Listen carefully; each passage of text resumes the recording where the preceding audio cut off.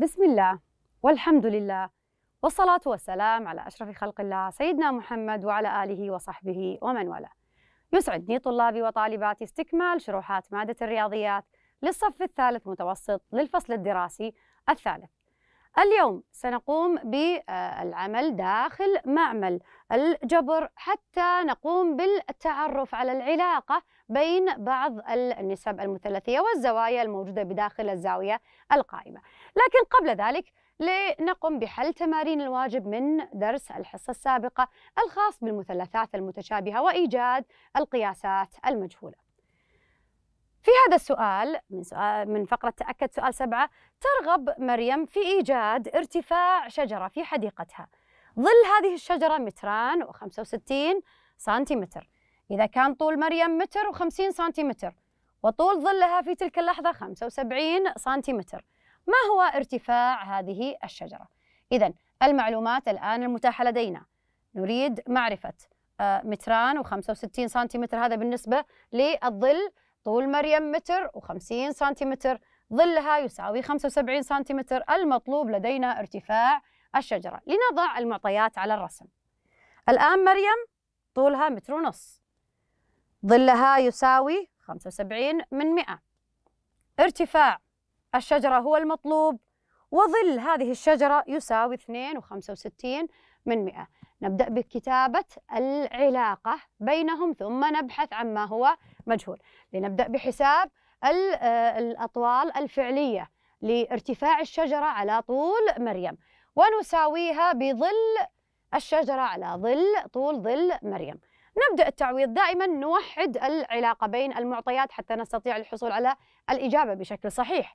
ارتفاع الشجرة لا نعلم ما قيمته. إذا س على واحد ونص يساوي ظل الشجرة 2.65 من 100 على ظل مريم 75 من 100 إذا أصبح الآن بيننا تناسب. يوجد لدي قيمة واحدة فقط هي المجهولة قيمة س. إذا نستخدم ضرب الطرفين بالوسطين لإيجاد قيمة س. إذا س تساوي دائما. القيمة التي نجري عملية الضرب مع المجهول نجعلها في المقام. إذا واحد ونص ضرب اثنين وستة من عشرة وخمسة وستين من مئة قسمة خمسة وسبعين من مئة. دائما. العدد الذي نقوم بإجراء عملية الضرب مع المجهول هو من نضعه في المقام. نقوم بإجراء عملياتنا الحسابية وننتبه للفواصل العشرية. سنحصل على أن قيمة س تساوي خمسة وثلاثة من عشرة متر. إذا ارتفاع الشجرة يساوي خمسة متر وثلاثة من عشرة. إذا استطعنا حساب القياسات بطريقة غير مباشرة عن طريق العلاقة بين المعطيات لدينا. إذا هذا ما يخص المثلثات المتشابهة وطريقة الاستفادة من حساب القياسات غير المباشرة. في بداية درسنا لهذا اليوم في معمل الجبر لا ننسى الإشارة إلى رابط الدرس الرقمي للاستزادة والاستفادة. سنحاول اليوم استكشاف بعض العلاقات ومحاولة الاستقصاء للحصول على بعض المعلومات. الاستقصاء أي عملية بحث مستمر عن المعلومة حتى نصل إلى استنتاج معين. لنرى ما هو الاستقصاء الذي سنبحث عنه وما هي النسب المثلثية التي نتحدث عنها. هدفنا استقصاء أو البحث عن نسب أطوال أضلاع المثلثات القائمة الزاوية ومحاولة وجود علاقة بينها. المثلث نحن سنتحدث الآن عن مثلث واحد. وسنحاول إيجاد العلاقة بين زواياه بين أضلاعه الثلاث اعتمادا على كون هذا المثلث قائم الزاوية. هذا هو المثلث القائم الزاوية. لدينا أكثر من نموذج للمثلثات القائمة الزاوية. بالتأكيد الضلع المقابل للزاوية القائمة هو عبارة عن الوتر. دائما هذا الرمز نراه عند الزاوية القائمة والضلع المقابل له يمثل لنا دائما الوتر. سنرى ما هي العلاقة بين الضلع القائم الأول في كل مثلث منها والضلع القائم الثاني في كل مثلث منها. إذا المثلث قائم الزاوية يتكون من وتر وضلع قائم أول وضلع قائم الثاني وما كنا نطلق عليه الساق سابقا. إذا هو الساق أو الضلع القائم. إذا سنحاول إيجاد العلاقة بين الأضلاع القائمة والوتر والعلاقة بين الأضلاع القائمة بين بعضها البعض. إذا سنحتاج إلى إيجاد أكثر من مثلث وحساب أكثر من قياس حتى نستنتج ما هي العلاقة بينها سنبدأ الآن خطوتنا الأولى لهذا لهذا البحث أو لهذا الاستقصاء. استعمل مسطرة ورقة مربعات لرسم عدة مثلثات. كما قلنا سنقوم بحساب أكثر من مثلث حتى نصل إلى نتيجة ثابتة. المثلثات لابد أن تكون قائمة الزاوية. النسبة بين ضلعي القائمة آه، الضلعي الزاوية القائمة هو عبارة عن خمسة إلى ثمانية. إذا آه، آه، لا نريد حساب قيمة الوتر لكن أهمها يكون العلاقة بين الضلعين القائمين خمسة إلى ثمانية حيث جيم هي الزاوية القائمة والرأس باء يقابل الساق الأطول والرأس ألف يقابل الساق الأقصر. لنرى الآن هذا المثال. لدينا الآن هذا المثال وقمنا بتطبيق المعلومات المعطاة على حسب ما هو موجود. العلاقة بين الضلعين القائمين هنا ثمانية وهنا خمسة. خمسة آه، الزاوية ألف تقابل الزاوية جيم هي الزاوية القائمة الرأس باء يقابل الساق الأطول هذا باء يقابل الساق الأطول وألف يقابل الساق الأقصر. لنقوم الآن برسم مثلث مشابه له اعتمادا على أن المسافة أو العلاقة بين الضلعين القائمين خمسة إلى ثمانية. أه، ماذا نستفيد من أو كيف نستفيد من خمسة إلى ثمانية؟ خمسة على ثمانية. نستطيع إجراء عملية الضرب باثنان فيصبح عشرة على 16 هذه العلاقة بين الضلعين. نستطيع القسمة على اثنان فيصبح اثنين ونص على أربعة بالنسبة للضلعين. إذا نعتمد على هذه النسبة ثابتة ونحاول إيجاد بقية النسب مكافئة لها. مثلا نستطيع أن نرسم هذا المثلث بحيث يكون ضلعيه قمنا بالقسمة على اثنان اثنين ونص وأربعة. أو هذا المثلث قمنا بإجراء عملية الضرب باثنان فأصبح 16 على عشرة. أيضا نستطيع إجراء عملية الضرب في ثلاثة فنحصل أيضا على هذا المثلث.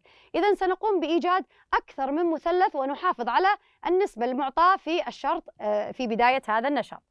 إذا سنقوم بكتابتها على شكل جدول. هذا هو الجدول. الضلع الأول للمثلث اثنين ونص وأربعة خمسة إلى ثمانية. هذا المثلث الثاني المثلث الثالث عشرة و16 العلاقة بين الضلعين أوجدنا أيضا المثلث 15 و 24 هذه عبارة عن ماذا؟ عبارة عن الأضلاع القائمة.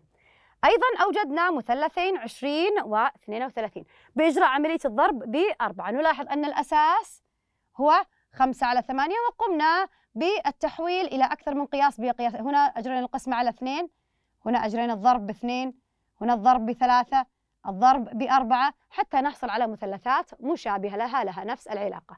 لنقم الآن بترتيب المسميات. بالنسبة للضلع باء جيم هنا أيضا الضرب بخمسة خمسة وعشرين وأربعين. بتطبيق نظرية فيثاغورس الآن لدينا الأضلاع القائمة. نستطيع حساب الوتر. الوتر كما نعلم بتطبيق نظرية فيثاغورس عبارة عن مجموع مربعي الضلعين القائمين. إذا هنا سنقوم بإجراء عملية تربيع وجمع هنا بالنسبة للمثلث الأول. اثنين ونص تربيع زائد أربعة تربيع. ونحصل على قيمة الوتر فتساوي هنا القائم الأول وهنا القائم الثاني هنا الوتر. تصبح قيمة الوتر تساوي أربعة وسبعة من عشرة. نقوم بإعادة تطبيق ذلك بالنسبة للمثلث الثاني. المثلث الثاني عبارة عن خمسة تربيع زائد ثمانية تربيع. ونحصل على أن الوتر يساوي تسعة وأربعة من عشرة. أيضا نقوم بتطبيق ذلك للمثلث الثالث. عشرة تربيع زائد ستة عشر تربيع. فنحصل على أن الوتر يساوي 18 وتسعة من عشرة. وبنفس الطريقة سنقوم بحساب الوتر لكل مثلث بهذه الحالة. المثلث الرابع يصبح الوتر يساوي 28 و3 من عشرة. المثلث الذي يليه 37 و7 من عشرة اعتمادا على تطبيقنا لنظرية فيثاغورس. الوتر في المثلث الأخير 47 و2 من عشرة. إذا الآن في الجدول الموضح لدينا العمود الأول عبارة عن الضلع القائم الثاني العمود الثاني القائم الأول والوتر هو عبارة عن العمود الثالث. لنرى ما هو مطلوب في الخطوة الثالثة. احسب النسب وسجلها في العمودين الأوسطين. مطلوب حساب النسبة باء جيم على ألف جيم وباء جيم على ألف باء.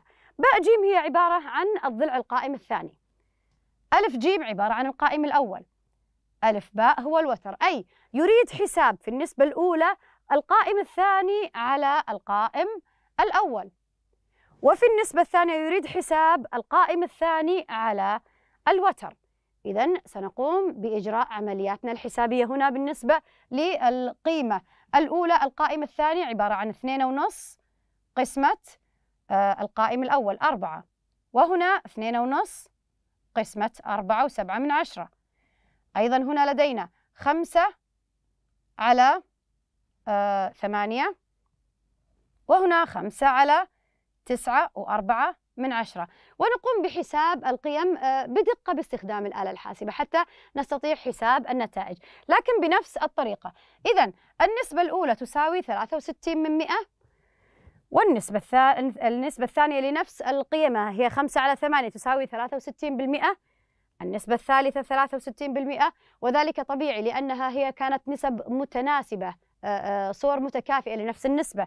إذا ستصبح 63 من 100 لكل مثلث. إذا العلاقة بين القائم الثاني والقائم الأول تساوي 63 من 100 لنرى الآن العلاقة بين القائم الثاني والوتر.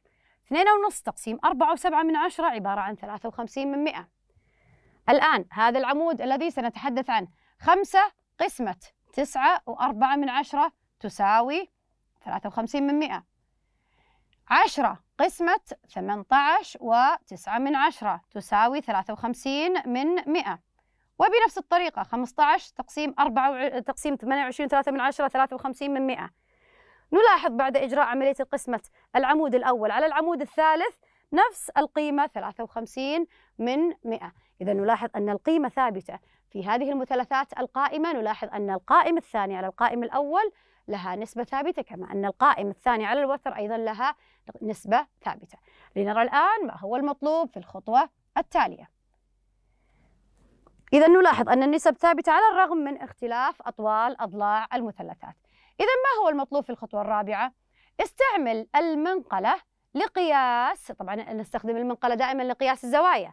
استعمل المنقلة لقياس الزاويتين ألف وباء بدقة. نقرب الإجابة إلى أقرب درجة ثم نسجل الزوايا في الجدول. نريد حساب قياس الزاوية ألف والزاوية باء. بالتأكيد الزاوية ج تساوي 90 درجة. إذا نريد حساب قياس الزاويتان ألف وباء باستخدام الفرجار ثم نقوم بتسجيل ذلك في الجدول.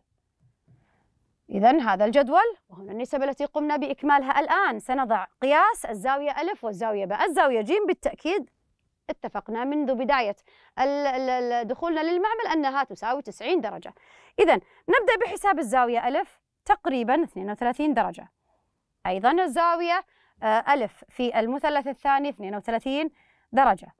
نلاحظ أنها بنفس القياس. إذا تساوي 32 درجة. هذه قياس الزاوية ألف على الرغم من اختلاف أطوال أضلاع المثلثات. أما بالنسبة للزاوية باء قمنا بقياسها بالمنقلة أصبحت لدينا 58 هذا ما نقصده بعملية الاستقصاء أن نقوم نحن يدويا بالبحث عن العديد من المعلومات حتى نصل إلى نتيجة ثابتة. إذا نلاحظ أنه أثناء قياسنا للزوايا تصبح قياس الزاوية باء تساوي 58 درجة في كل زاوية.